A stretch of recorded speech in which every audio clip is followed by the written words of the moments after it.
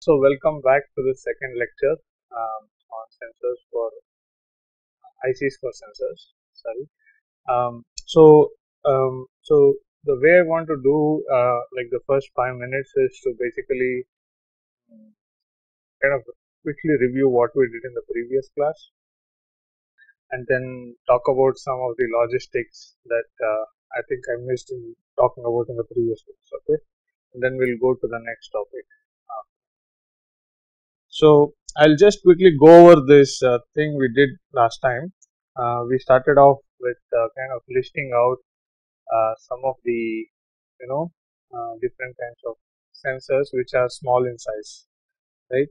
And then we looked at some you know nice pictures of some of the ICs that are interfacing with uh, sensors like uh, this microphone uh, sorry um, uh, this is uh, yeah this is a MEMS microphone.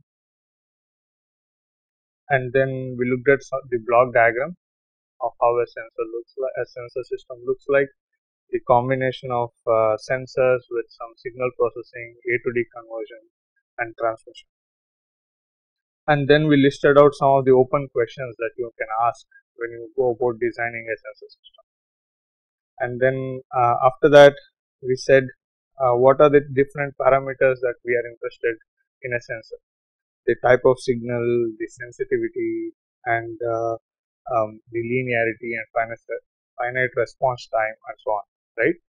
And then uh, we said that most sensors have uh, a delay in responding to the input signal and we said we'll model it with a, a settling an exponential settling and then we looked at some of the pictures uh, and measurement results from some papers and uh, we could see how these things settle right um, for a step input.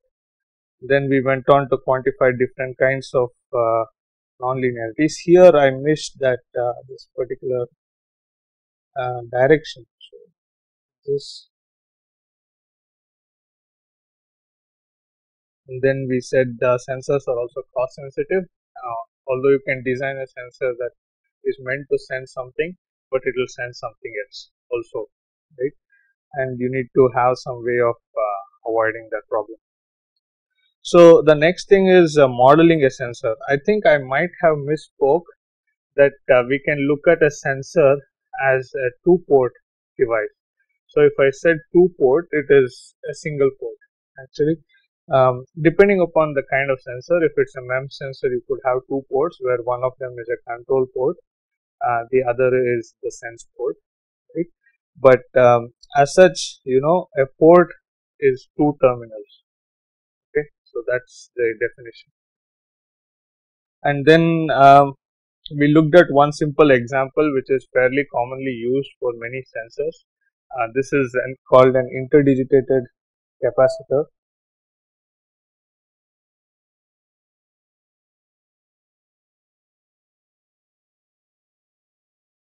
You might have seen this kind of an implementation uh, in a CMOS chip also uh, for implementing a capacitor. So here the most common way of fabricating this is that you take a silicon wafer and oxidize it and pattern these electrodes on top of it right and then depending upon what you want to sense you deposit different kind of material on top right the resistance changes um, or sometimes uh, it could be just the dielectric constant changes you're you're measuring the capacitance change right? so in essence there is a change in impedance okay and then um, we said we will just uh, model it with uh, passive or sometimes semiconductor uh, devices uh, which are commonly used uh, available in a in a SPICE simulator and then use that model to simulate our circuits okay is that okay any questions so far until the material we covered last time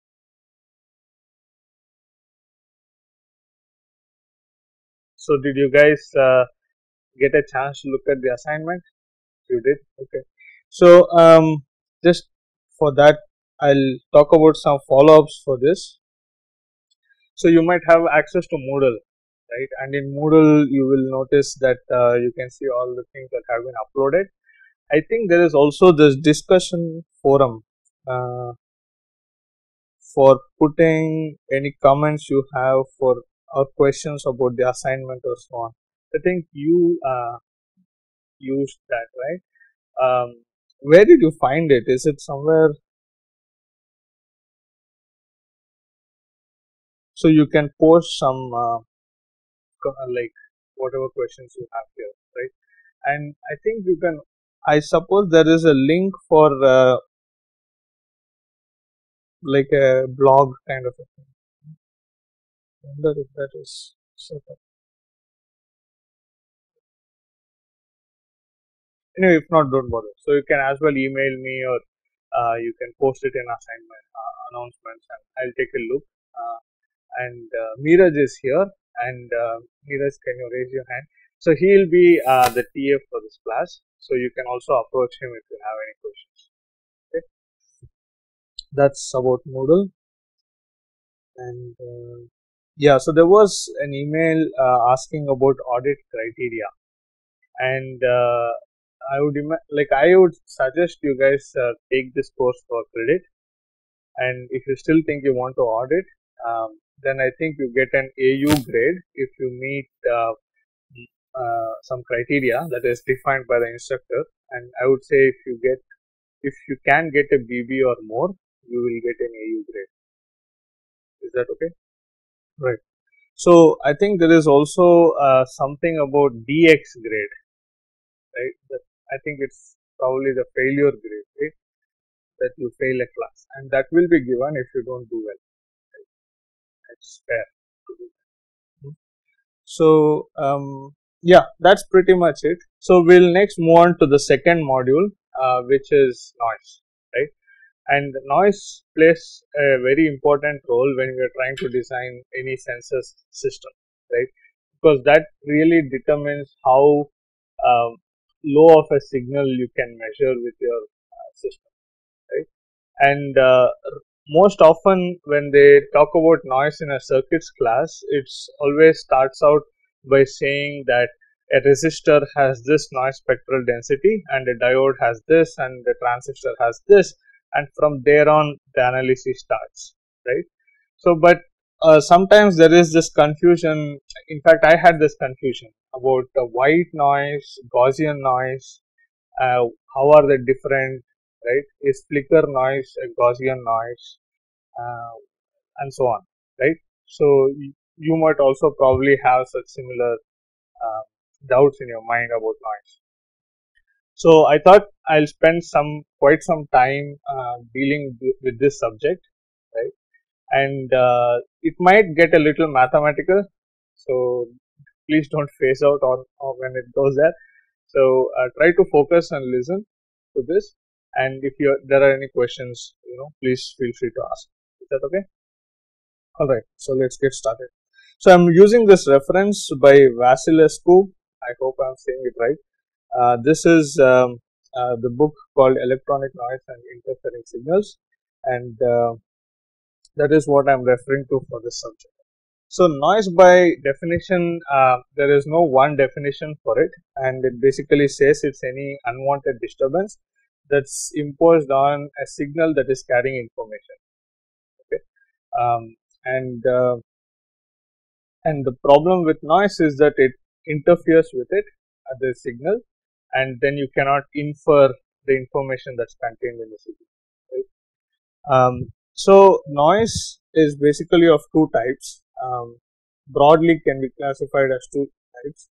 Uh, something which is extrinsic and the other thing could be intrinsic right? So extrinsic is uh, as noise which is basically uh, coming from something outside the system of interest right? If you have a circuit or if you have a, a set of amplifiers and an A to D converter and if you have like a power line close to it and it is interfering with it uh, that is extrinsic to the system of interest right and whatever noise is generated by the resistors and the diodes and the transistors inside that amplifier is intrinsic noise okay? And uh, you might very often you know measure like a sinusoidal signal on an oscilloscope right? And uh, what you expect is it looks perfectly neat and nice but unfortunately that's not the case. You will have like very noisy kind of a wave right? It could also be that there are some clocks or some uh, signals which are um, close to these uh, uh, signal lines itself of interest and you might get such glitches once in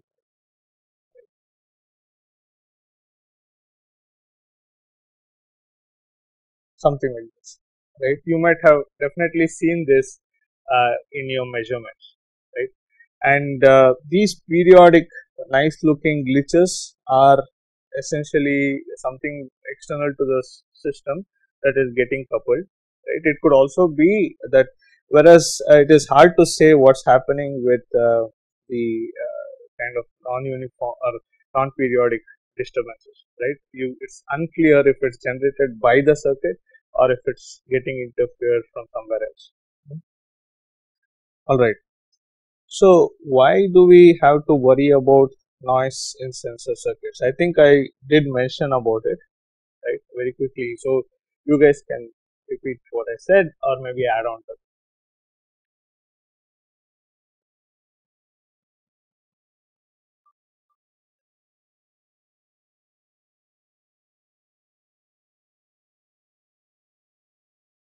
it. okay noise can dominate signals so what's the problem with it? Okay so it affects your minimum signal that you can detect right?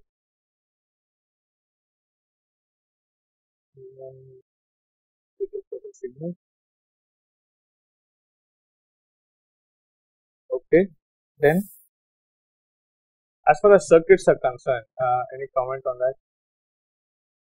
Noise could saturate the amplifier. Noise could saturate the amplifier, yes, um, but there is a catch there. I think we'll come to that a little later. Right?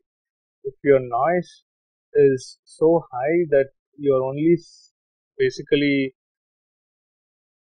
we'll come to that point. I'll I'll come back to that. Anything else? What are the implications for circuits? If the noise is too high. How do you, have you thought about, or in your classes in uh, CMOS analog, have you seen some of the ways in which noise can be reduced?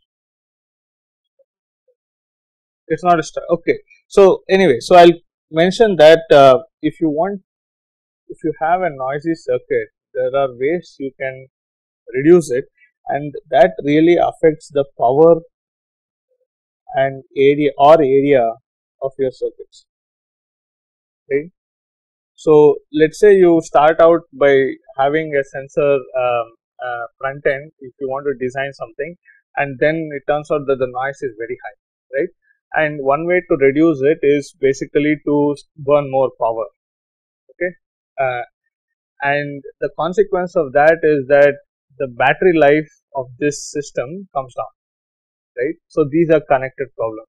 Okay. Um, and the next thing is uh, it determines what is called the dynamic range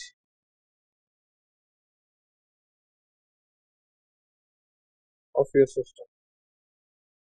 Right. So, have you guys come across this word dynamic range before? Yes?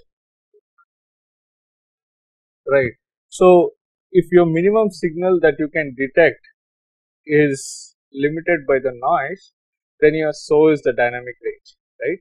And uh, if by reducing the noise in your system you can improve the dynamic range. Is that okay? And uh, then there are other terms like probability of detection and probability of false alarm which you can improve by changing the noise or reducing the noise, right? This particular topic we'll discuss it in the next one. I think the uh, in one or two class later, right? This is quite important if you are trying to Yes. Yes. Yes. Yes. Conservative or not? We'll come to that point later. I think I get what you're saying. Um, but the the let's say your bandwidth of your amplifier is one kilohertz, right? Now the noise power is getting filtered at 1 kilohertz, right? And the signal power also gets filtered at 1 kilohertz, right? So now it's not that the filtering itself is improving the performance.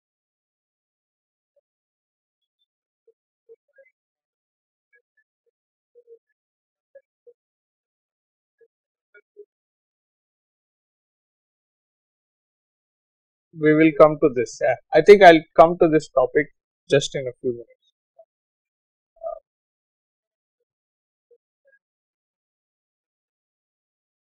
basically, it's the maximum and the minimum signal ratio of the max. It's like you can define it in dB of the dynamic range is basically the input is it even dependent on that? Actually, dynamic range is the minimum and the maximum signal that you can handle in the circuit, right? So, um, it really doesn't matter how you look at it because let's say all you care about is let's say the input starts increasing in amplitude, right? And the amplifier has a certain supply and you, your output cannot go beyond that, right? Because it's, let's say for example, just to give you very quick uh, let's say you have an amplifier with gain of 10 right? And you have a 1 volt supply right? And uh, now if or 100 maybe. So what is the minimum input you can handle?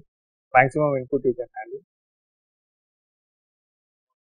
So here if you have a sinusoidal you can place it at 0.5 volts and go up to almost up to let's say 0.5 right?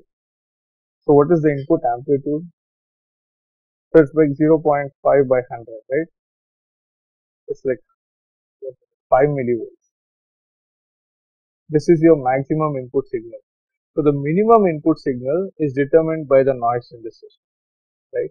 Because let's say you have an input referred noise which is 1 microvolt right? So this ratio is your dynamic is that clear? Okay. So I for this particular question, it becomes clear in the future. I think there is some mismatch between what we, if you look at the SNR, right, it's the ratio of power of the signal to the noise, right? I don't think that uh, the, as far as the uh, circuit is concerned, it behaves differently when you look at noise or when you look at signal. Okay i'll i'll i'll come to that point i think. If there is question at that point please let me so any good things about noise? Correct. So oscillators?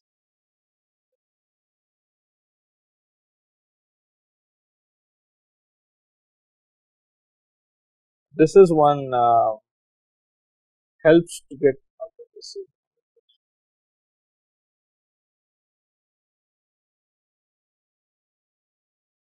Yeah, anything else?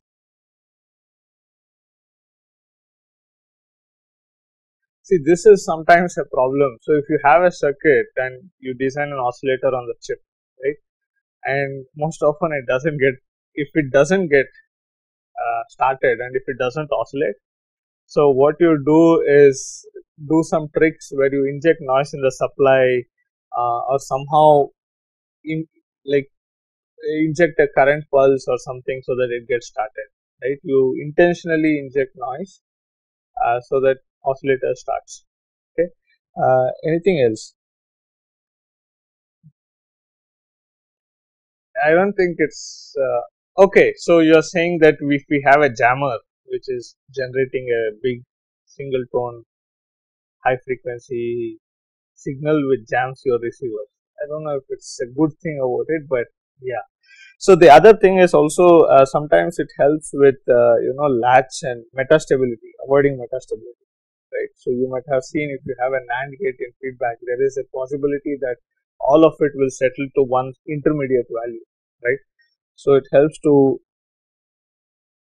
avoid metastability.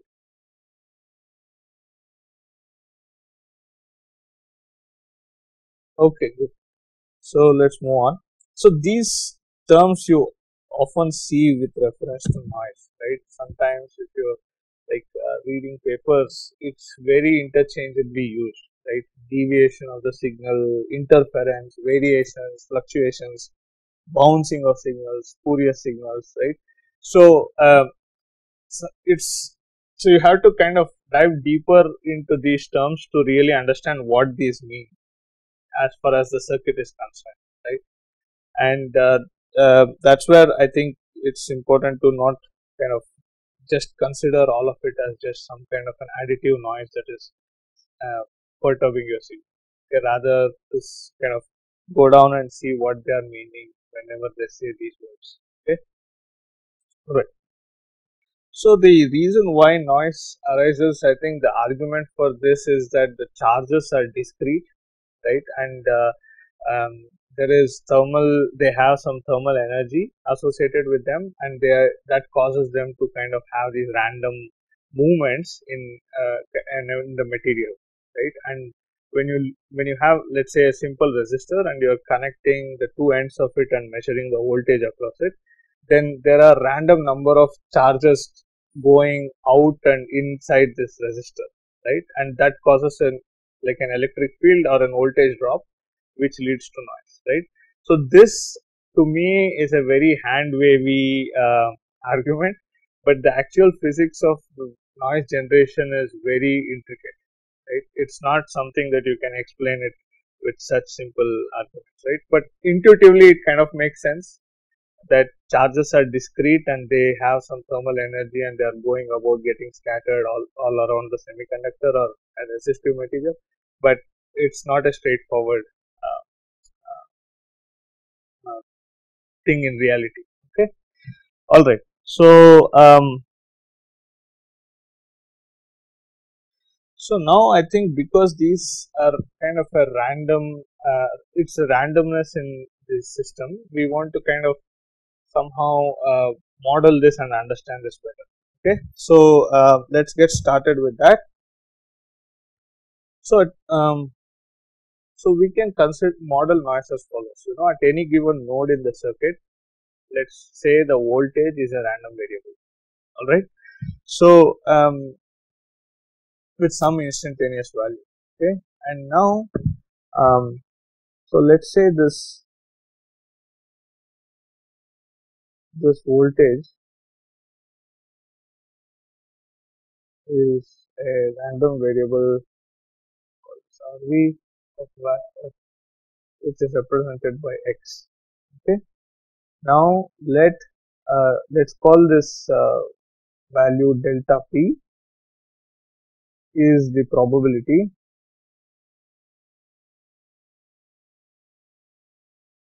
That you know x takes a value. X to plus some dx okay? For delta. Is that fine? So it's some random variable. Let's say it has uh, it can take any kind of value right? And uh, we say that delta p is the probability that it takes a value between two numbers x and x plus delta x right? Now um, we can measure let's say we can measure this value x right um, continuously and take samples of this right? And it let it say that let x take values right? You kind of continuously measure this voltage and then you kind of measure x1 x2 and so on all the way up to right? yeah. And uh, Now you can plot all the values that x has taken and the number of values that it has taken right? And split it up into different bins right? Is that okay? Not okay. So you take a value you kind of measure some voltage let's say right? And you keep on measuring it and you keep on noting it down right? It, it kind of keeps putting different values out. And now you you kind of list out all those values let's say as a vector right? And now you can somehow you have to represent this in a in a way that you understand how this x is behaving right? And you'll say that let me split up the you know plot this x and say that x takes a value uh, 0 1 2 3 uh, 4 5 and so on. 2 minus 3 these are binning right? You put bins and you say how many values each of these things takes right? So in 10000 samples how many of them have taken a value between 0 and 1 okay? And this uh, let's say looks something like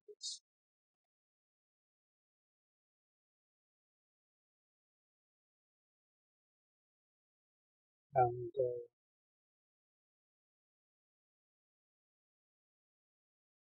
okay. Yeah. It. Could be anything right? It could be anything. And uh, i'm just drawing it gaussian so that in most circuits it turns out to be that but uh, this could be anything. It could be uniformly distributed. It could be uh, poisson whatnot right? And uh, now this this the sum of all these values this could be 100 this could be 90 and so on and so forth the sum of all these values that it takes uh, should be what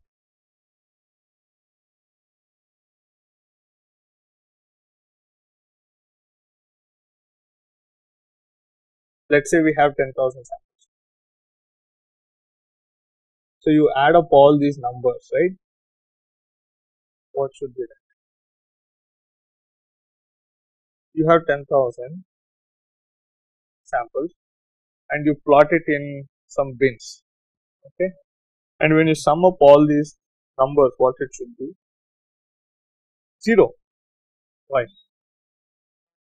This is not 0, 100 plus 90 plus whatever 70. Yeah, 10,000. So basically you are splitting up your data into bins and then saying within a bin how many of them are there. Yeah, this is the x plots the actual value, right? And this is the number of occurrences.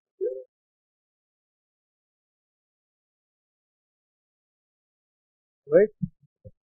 Now, uh, let's take a simple example to illustrate this, right, for a discrete case. Okay. Now, let's say x has, this is only, I think you would have done this enough number of times, but just to kind of give you a review. So, let's say x takes on these values, right, um, 2, 2, 0, 2, 2, 3, right, and we have 8 values total. Okay. Is that fine? So now let's say we split this up in a way uh, we say number of occurrences and occurrences are 0, 1, 2, 3, 4, 1, minus 2, minus 3 okay now how many occurrences are there um, for 0 2 okay. So we will just say 2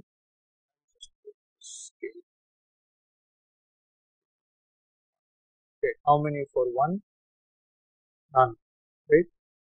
And how many for 2 oh scale is 2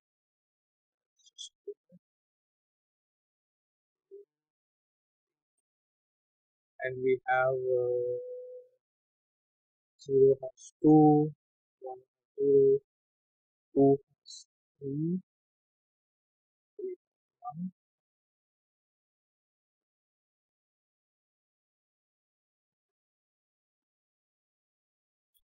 minus 0 minus 2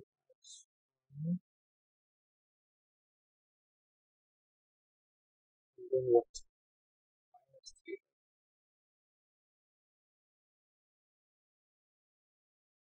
that okay? Okay. Just okay that's, fine right? Now you can then say um, how many times um, you can then divide this occurrences with uh, this is easy for me to do but uh, if you are trying to write the whole thing down this thing easily okay so you can then divide uh, the number of occurrences with the total number of samples right to give you the probability of each value occurring okay? Now how many samples do you have? Total? 8 samples right? And what will be the probability now? Yeah so this will be 3 by 8 2 by 8 and 1 by 8 okay? So now uh, within that sample set 0 has the probability of occurring one fourth of the times and 2 has the probability of occurring three fourth of the times and so on. 3 eighth of the times and so on right? Now um, you can easily get the mean value for all your samples by saying the following probability of each times the actual value when you sum it up from 1 to n. Is that fine? Okay. So when you do this, what will it be? Let's take minus 3, the first sample, and it has a probability of 1 8, right? And minus 2 has a probability of 1 8, right? And uh, 0 has a probability of 2 8, and 2 has a probability of 3 8 and 3 has a probability of 1 okay? Now what will this value be? So these two cancel out right? This is 0 it's basically 6 by 8 minus 2 by 8 so it's 1 by 2 right so can you just simply sum this up and see if that's true it's true, right? So when you sum this up, it comes out to be also one half, right? So uh, basically, what this means is that the following, right? So um, if x, right, um, has some value and you multiply with the probability of occurrence and you sum it all up, you get the mean value, right? So this is basic probability. And uh, now uh, we can then say now if x takes on continuous values rather than discrete values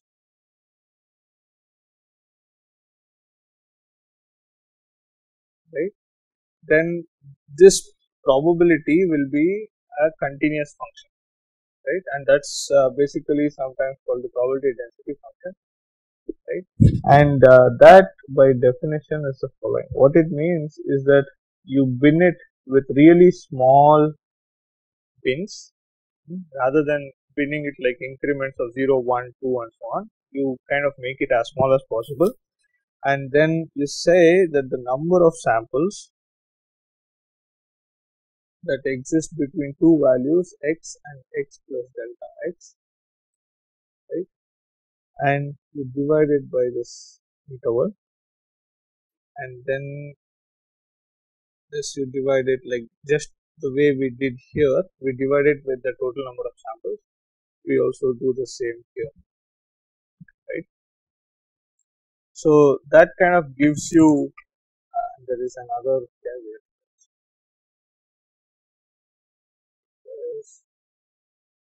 and then you say so you take as many samples as possible and you make your bin size as small as possible and then you can get a function which is called the probability density function which is defined as the number of samples that exist between two intervals right as you as when as you increase the number of samples and as you kind of come down in uh, the uh, spin size. Now, um, consequently, you know you can get the probability that this variable x takes a value some x0 and x1 uh, what is it? Was already x integral of x1 to x2 x. Okay this is known now now how do you get the mean of x? This random variable. Uh, so for all values of x x x. Right? And uh, now this is also sometimes called the expected value of the random variable right? And uh, there is also this other term uh, which is called the variance of the random variable. What is this?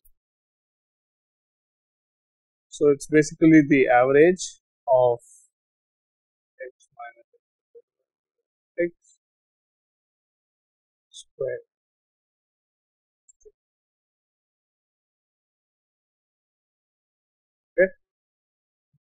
all right. So uh, oh oh sorry zero okay. That fine. All right. So this is all basic probability theory now um, the question is you go to the lab and you kind of measure some noisy waveform right? That looks like this okay. And so on right? Like it looks like this. Now this is time. This is what you measure.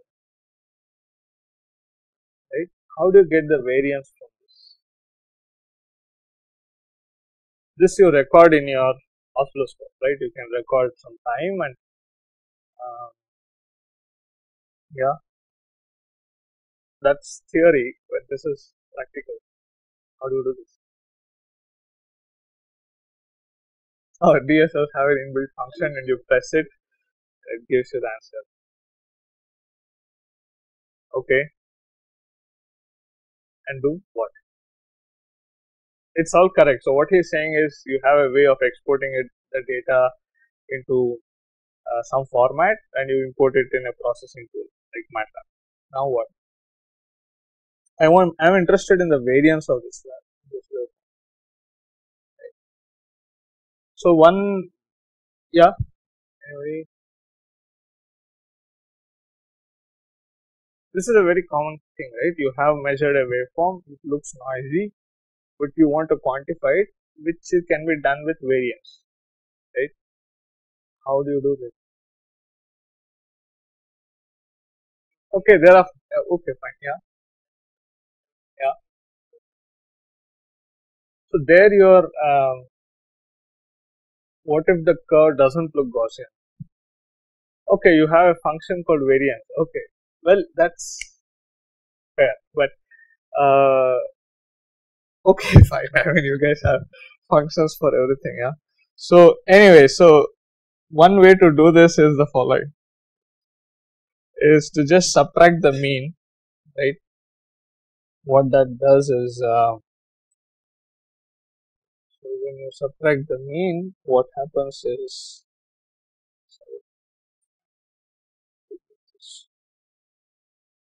right it basically shifts down correct? So whatever the mean of this waveform was um, this was probably the mean right? And you shift it down and it comes down right? Now you square this waveform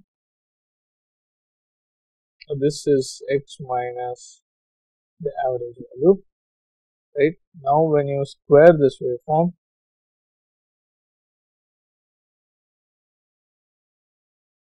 How does it look? Nothing will be negative, right? It will all look something. Like this.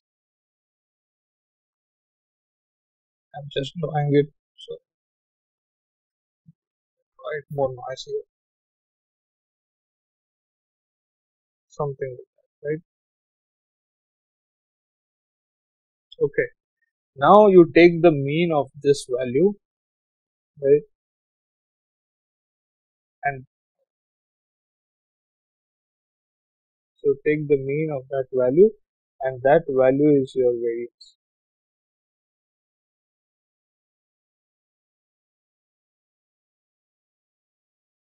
Right? Now, um, how do you know if this value is the right value? Uh, how do you know you have acquired enough data for getting the variance? Right? So let's say I took only this much data, right? Sorry, is the same. So one, I think you are alluding to the fact that you can, you know, record, take a small segment of this data and then see if the variance is what this value is, right? Um, and uh, then start increasing the length of your data, right? And once it's no more changing significantly, that's the actual variance of your data, right? Because let's say you take only one or two samples, that variance may turn out to be significantly different from uh, enough number of samples, right? And it, just by doubling the amount of data that you have acquired, uh, if the variance doesn't change, then it doesn't really matter, right? All right. So what is the unit here of variance if you are measuring volts? Volts. Now the thing is most natural phenomena have what is called a Gaussian or normal probability density function and I, am sure you know all of you might have seen this before and um, this is usually represented as follows.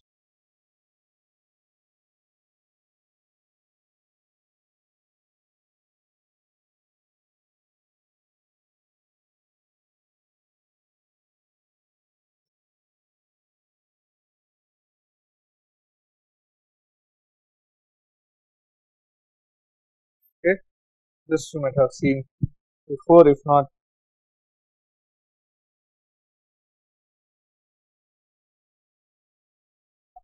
This is how it looks. At least the functional description looks like right? Um, so just uh, give me one so what I want to basically show you uh, and by that so what is mu mean? And sigma squared is variance. Sigma is the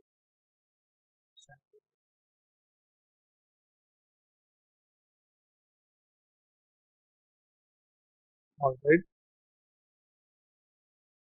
So basically you know had the math the matlab function basically has these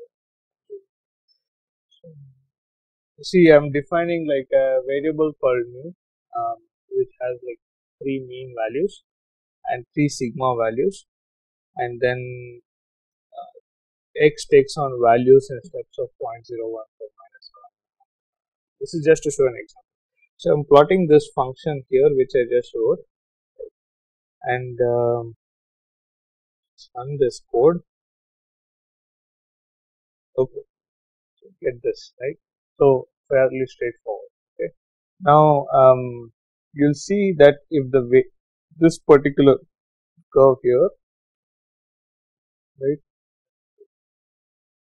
Yeah, this particular curve uh, the mean value is two and a half is two and uh, the sigma for that is half right so it's very narrow so that the values that it takes is constrained and on the contrary this yellow curve here is uh, has a mean of minus 2 i have just put different means so that they are not all sitting on top of each other so the values it takes is um, very wide okay uh, now um, when you measure something like this on an oscilloscope, which of those waveforms do you think will be the noisiest one?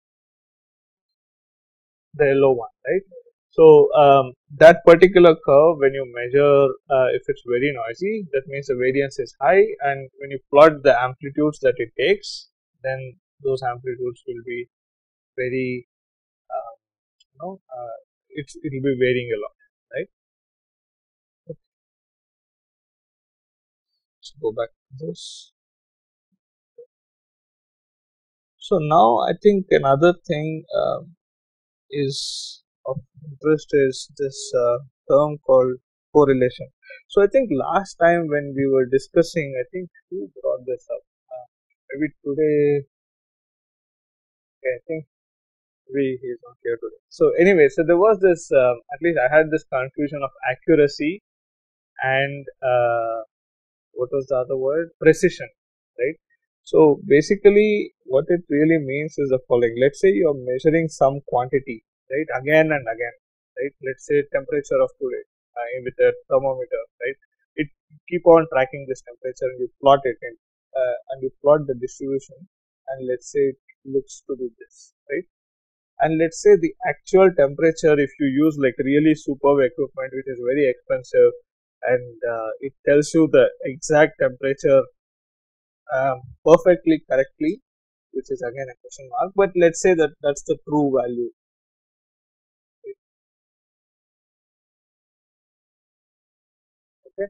and what you're measuring with this uh, you know your watch temp like some temperature could be telling you this is the actual temperature. For example right? So this measure is the accuracy. Right?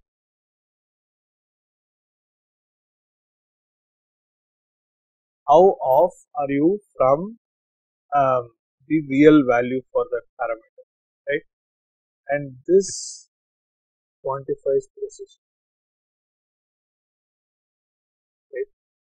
So if you just Google these two words, and uh, I'm sure you know nowadays everything is all online, right? And uh, you will see some nice um, uh, pictures which kind of give you a different picture. Like let's say you have a bullseye, right? And if you are aiming to the center, then you are accurate?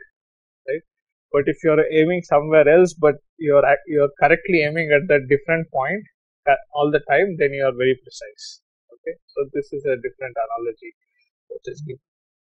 So now let's uh, take up uh, next thing, which is uh, correlation. Right, one example. So that has to be with always with a different, uh, more precise equipment. I'll give you a simple example. Okay, so um, let's say you have a microscope, right, which is the standard, you know, the two eye lens kind of microscope, right? And let's say you are trying to image some very thin wire, right? Now, if you somehow have a way of saying the width of that wire, right? So it's you, it's going to be imprecise because uh, it even the wavelength of light we can see is about 700 up to 700 nanometers 400 to 700 right? So you cannot really see a, a, trace which is smaller than that in the visible spectrum right? So if you're trying to see a 1 micron wide wire with a improper device then you are always having some error in measuring that correct? Now on the contrary you can say look um, I want to still get a much better value. So you can use something like a scanning electron microscope, which is much more sophisticated uh, and uh, has a different way of measuring the same thing, right? Which you can measure up to 10, 20 nanometers or even up to 50 nanometers. So the value that you measure there with that equipment versus this one, um, there will be a mismatch, but a higher end equipment will give you a, a the true value better right? It's always there will be some mismatch, but it's getting close to the true value. Right? Even time, for example, right? There are cesium clocks which are so precise in telling you the actual time. So you use that clock as a reference to calibrate your uh, other improper clocks. Right? So that's one way to do it. that So, but that's the only way I think is, is.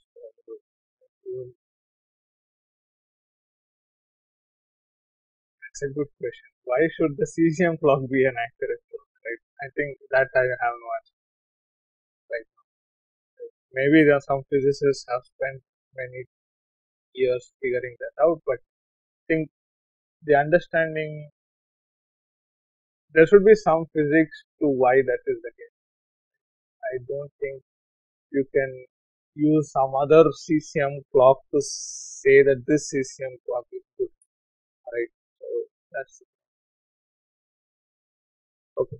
So correlation. I mean, very one uh, simple example. I mean, all of us are living in Mumbai, and once you graduate, I mean, even if you go to Bangalore or somewhere, you want to buy a house, for example, and here this is the cost of a house and the area. Okay? Right? You try out and look up on different websites. Usually there is some good connection between the cost and the area right? Each house might have a different uh, value right? Individually the area could still be a gaussian distribution right? You can have within some locality some mean value could be like 1000 square feet right? And then there could be some variations around it. Like something could be 1100 something could be 1500 but something being 3000 is very unlikely right? So each of these could be gaussian right?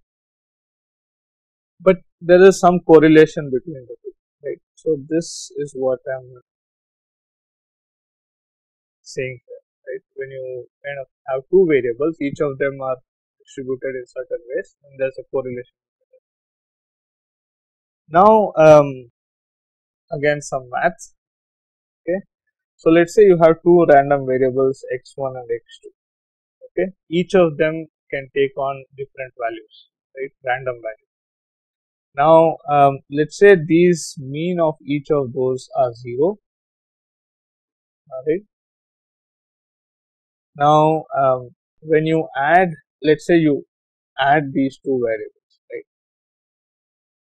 Clear a little later why. Okay. When you add these two variables, what happens to the mean of y? Mean of y will be zero, right? So basically, the idea is that expected value of x1 plus x2 will be just the sum of those two, right? And that if you do all that we just discussed just now with that integration and all that it turns out to be u1 plus u2 which is okay. Now what is the variance of y? Right? This is expected value of y minus this square right? And this is expected value square 2y y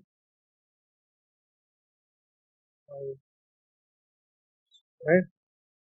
Right? This is nothing but expected value of.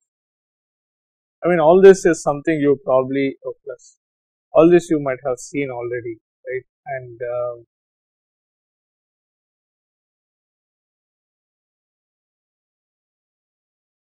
right? Um, I don't think it's necessary to write it down. Just see it. So what is expected value of y squared? Zero. Right. This is said the mean is zero, and now you can split y as x1 plus x2, right? And when you write it out, so you get x1 squared plus expected value of x2 squared, x2 expected value of x1 Is that true? No. Okay. Now, sorry. Okay, so going back to this example, right? This is the example of correlated case, right? So now area, if this is x1 and the cost is x2, so there is some relation between the two, right? Now you can also argue the following, So area of the house, right? And then you can say what? Price of tomatoes. Right obviously there could be some correlation but more often there will be nothing right so when you plot all of this then it may turn out to be all scattered in like this circular fashion right and right so these two variables are uncorrelated right at least graphically you can see this right so when you take the product of all the individual values that they take right and average it it turns out to be 0. Ah, here I think one mistake I did was kind of get rid of the mean, right? I have to subtract out. But you get the idea, right? Let's say you take area of this house and today's tomatoes price, right? And you multiply the two and uh, you do the same thing with a different house and uh, a different rate and keep on uh, multiplying the two and averaging it right? If you take the mean out, the product, the expected value of the product will be zero, right? That's what it means by uncorrelated, right? Does make sense? So consequently, what happens to the variance? This will be sigma square square is uncorrelated.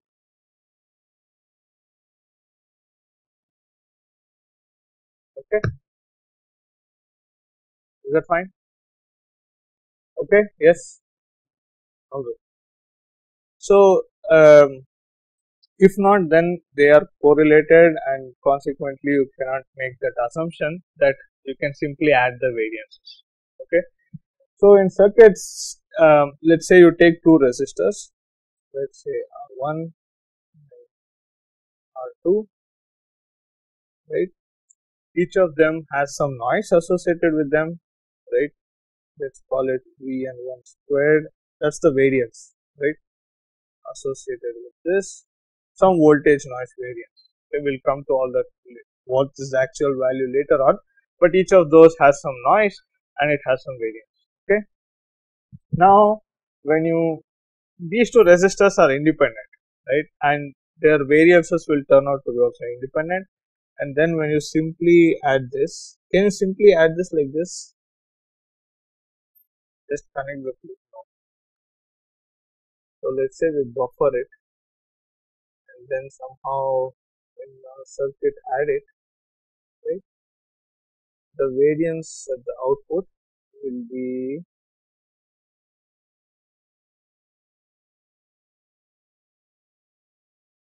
okay so fine now let's take an example of from circuits where there is correlation.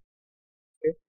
So let's say there is a transistor and uh, it has some noise associated with it, whatever that noise is. I this is just a transistor which has some drain current noise. Right? Now when you split this up into a voltage noise and a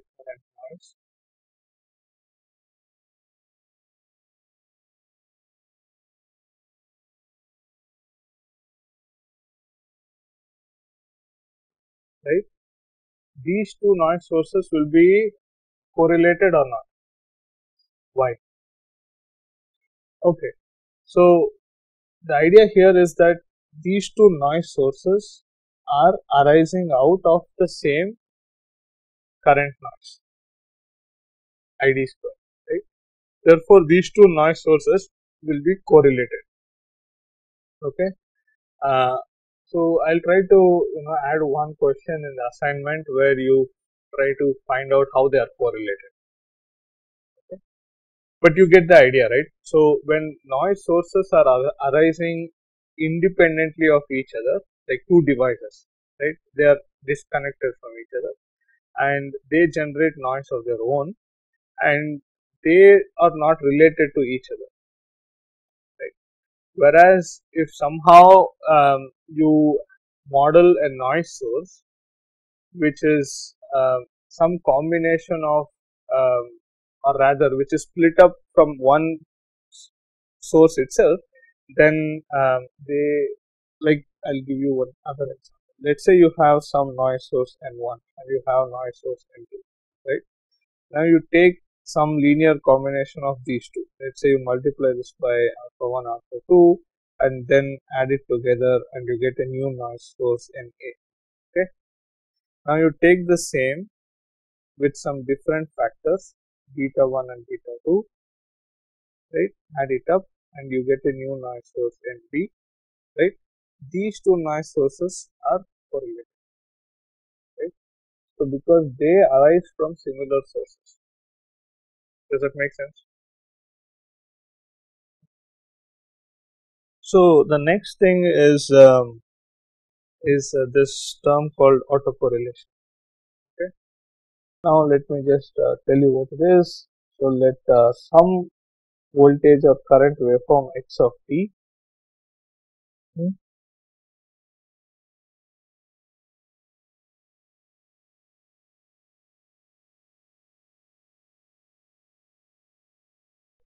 so autocorrelate. So let x of b t be either a voltage, current or something, right? Now the autocorrelation of x of t is defined as follows. Anybody, I guess?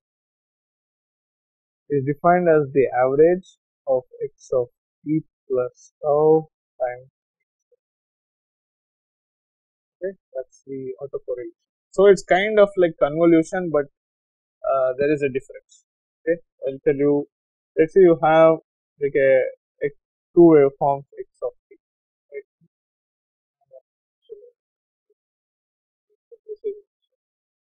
Right.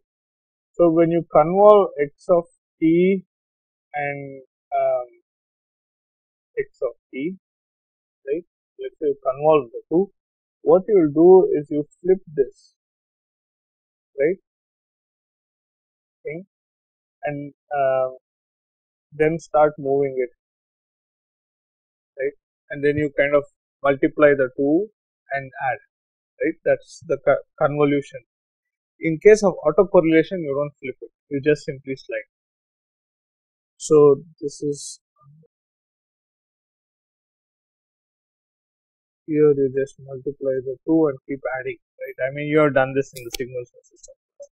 But one thing to note is how do you get autocorrelation when you have two waveforms? Let's say have a noisy waveform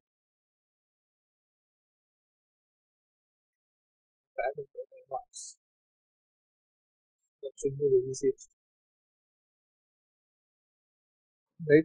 How do you get Rx of T? Now, so basically what you do is take the same waveform. So you kind of get different waveform. Um, you kind of shift this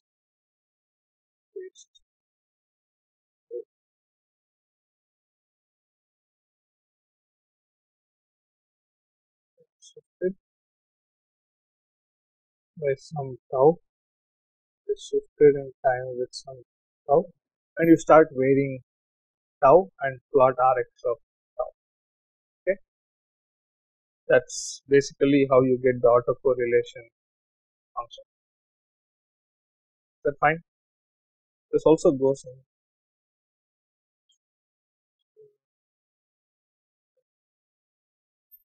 Any questions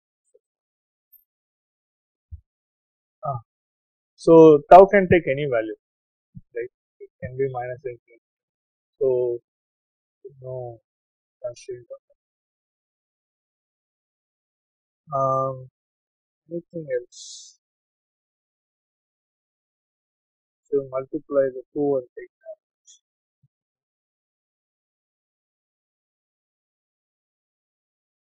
Is there any questions so far? With. Two resistors are fabricated from uh, on a same substrate, then the noise between them is correlated. Well, then you can split up that into the noise originating from the resistance itself and one that is coupled from the substrate to each of those. Right. So then they all three will be independent. No, that could be done, right?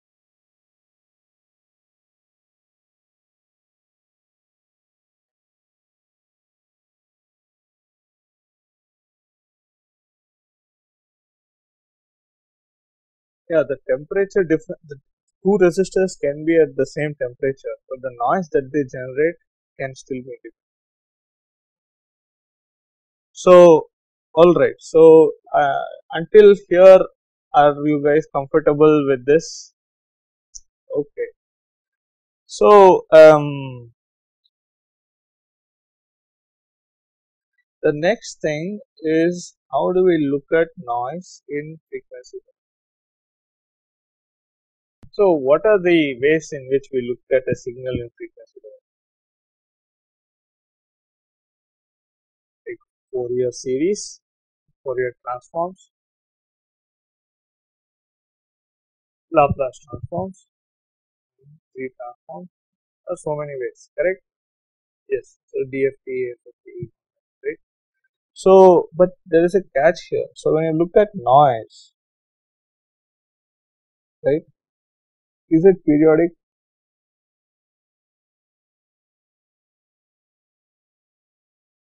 Yes, no. No, it's not periodic, right? Noise cannot, it's, it's kind of random values that it's So, can Fourier series be used?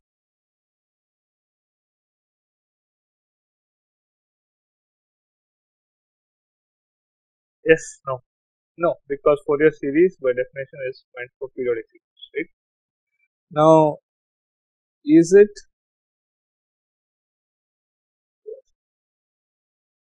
is it finite?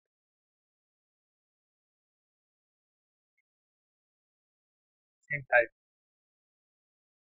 So can you use Laplace transforms?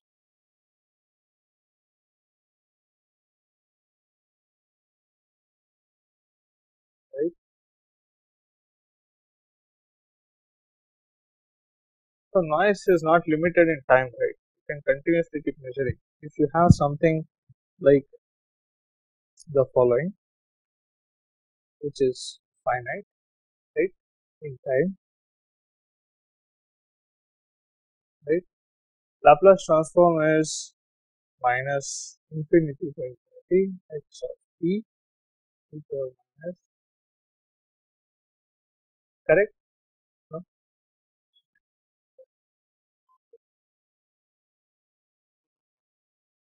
yes but i'm just saying by definition the laplace transform is taken as follows right? Is that correct? Or no? Give frequency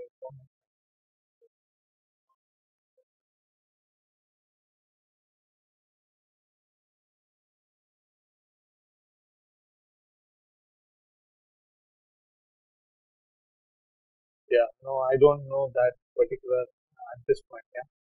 But if you just look at the definition of this laplace transform right that we are usually used to right this integration of x of t power minus omega t for all time cannot converge right because x of t exists for every time in usual case you have some finite time like this right? From some 0 to some tp or something then you can say it's 0 elsewhere and you can evaluate this integral right? But for noise it's not it's not possible correct?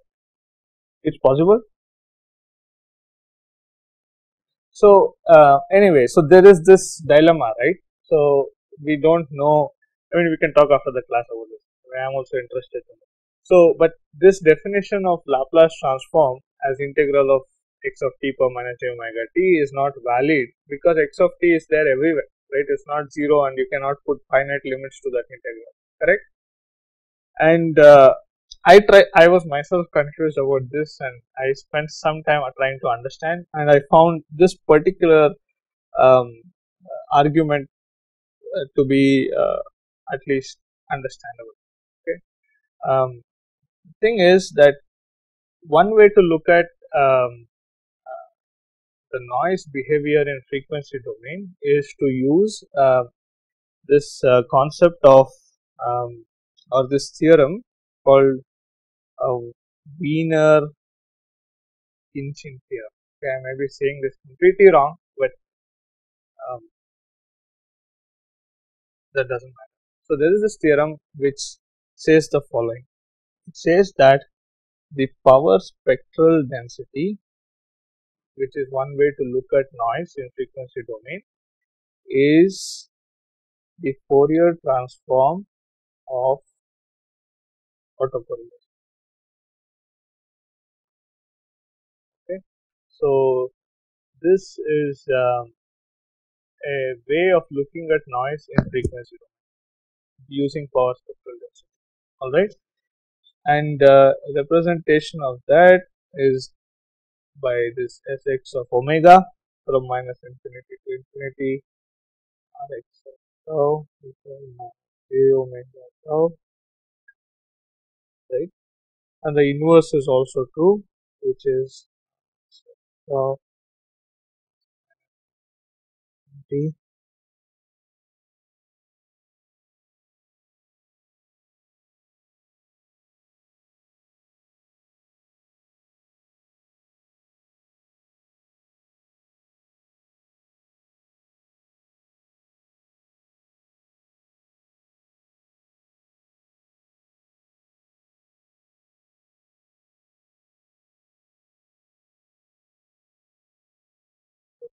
doesn't matter f for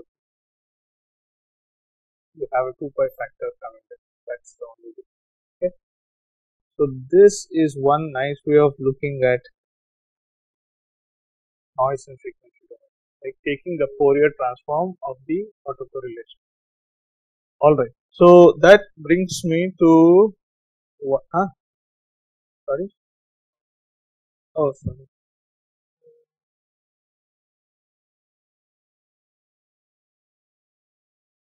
right. So if uh, tau is 0 okay what is the autocorrelation okay from what we saw before? Huh? it's the variance correct. So when you say uh, when we looked at this let's say you did not delay it at all right? Simply multiplied the values with each other squared it and took the average. Then that will turn out to be the variance right? So rx of 0 is the variance of this okay? Now if you look at it that way what will this be? Fx of integral of 0 and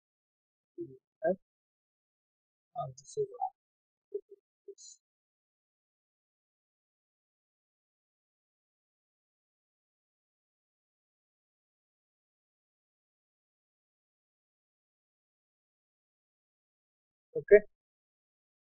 Is that fine? Yes no.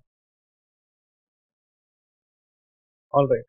So um i think uh, right now uh, i there is one more topic which i thought um,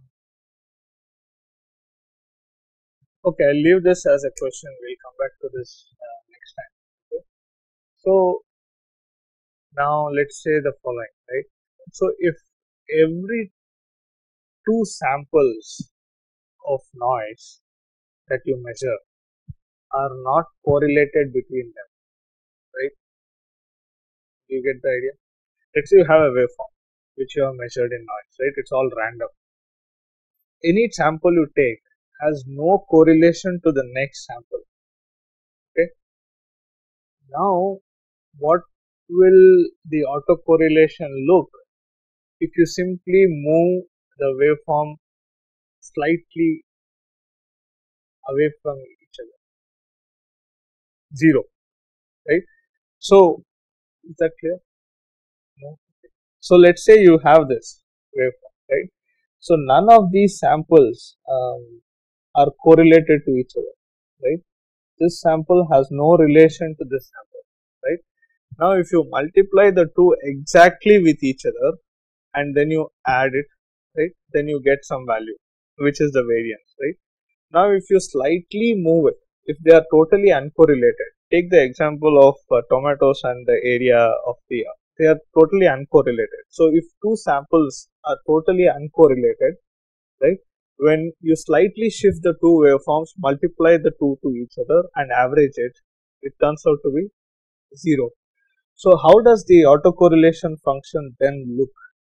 If you plot tau and Rx of tau, how does this look? It will be 0 everywhere, right? Which is sigma squared and everywhere else it is 0. That okay? Fine? Okay. Now if you take the Fourier transform of a pulse, what do you get?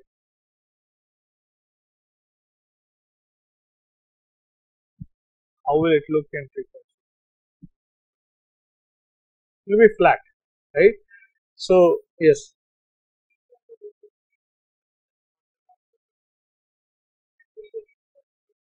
It will be an impulse. Yeah, yeah, yeah. okay, okay, fine. yes, that's the right. Uh, you're right. So, how should I put it? Delta. Okay. Okay. So, okay, that's right. So that's the mathematically correct way. Yeah. Okay. So, if you take the Fourier transform of this, how will it look? It will look flat. So, if the samples in time are uncorrelated, then in frequency, the noise spectrum looks flat. Okay. Is that fine? Okay, I think uh, uh, is that understood now? Now let's say the following: I take this noise and then somehow connect the different samples. A low pass filtering does it, right? What will happen to the spectral density? So if those two, okay, I think I'm confusing you. so, I think this argument is clear here, right? Why is it flat and frequency?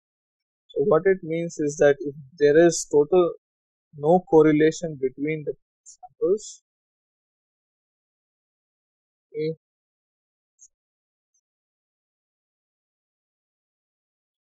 right? And if you take the Fourier transform of this, when you look at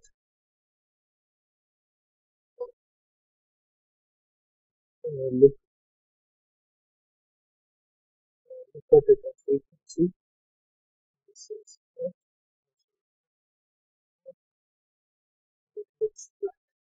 right and when you integrate this uh, Sn of f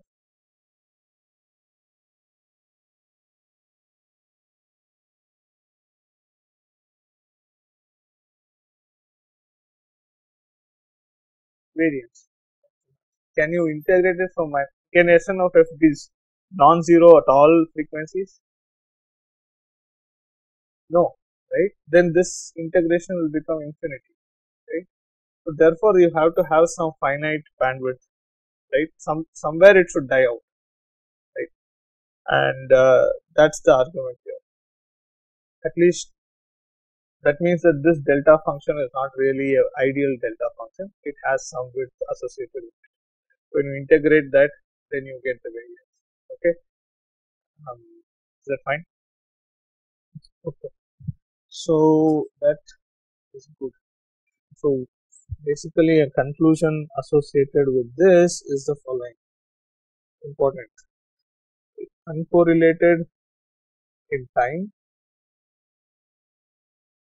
Samples of noise in time means that Rx, of tau is 0 for all time not equal to 0 right? That means my power spectral density is okay. On the contrary if there is any correlation in time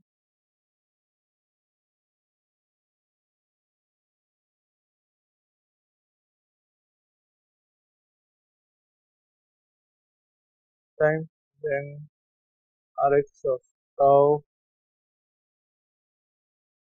has finite width I mean I'll call this.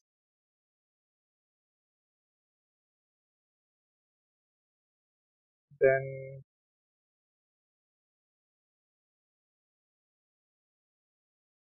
flat or white right? Flat white is sometimes called pink has some uh, color. Color essentially means that it's not okay, it's not white. This is some other name. This is the main takeaway from today's class that if you have noise where samples are uncorrelated, then the power spectral density is flat. But if you have samples which have some correlation in time, then the first the Rx of tau has some finite width. Consequently, if you take the Fourier transform of it, it will not be okay.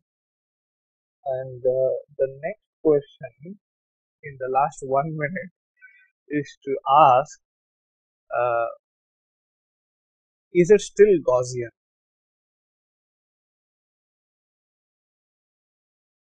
Do you get it?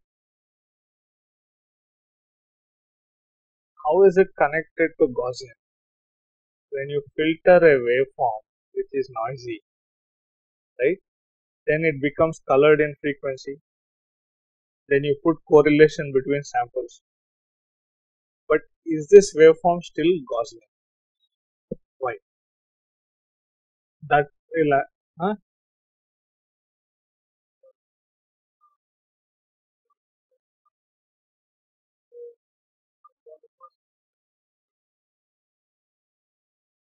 We'll come to that question. I think you're partially right or almost right. Okay.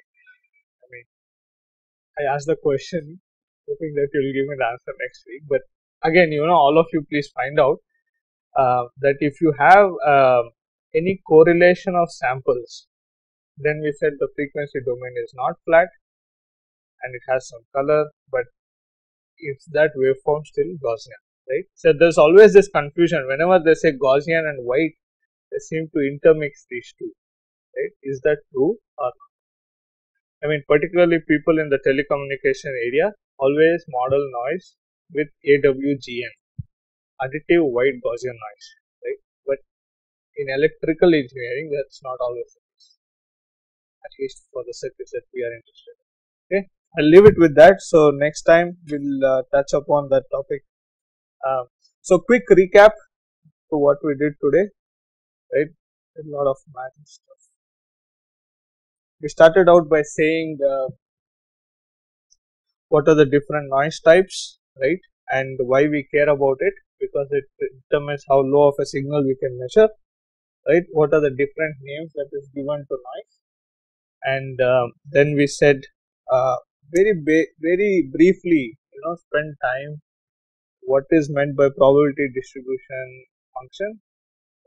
And its definition and how you get the meanness from it and uh, variance and how do you get variance from a measured noisy waveform right? And then the definition of Gaussian PDF and correlated uh, variables uh, random variables. And uh, then if they are uncorrelated then we said the variances simply add okay? And then uh, took example very straightforward examples that if a noise source is uh, a combination of is arising out if two noise sources are arising out from a same noise source then they will be correlated okay. and then uh, looked at autocorrelation and how we look at autocorrelation in frequency domain um, it is just the Fourier transform of the uh, power spectral density will be the Fourier transform of the autocorrelation. Okay. So the next question for you guys, I said, what happens if you filter a Gaussian?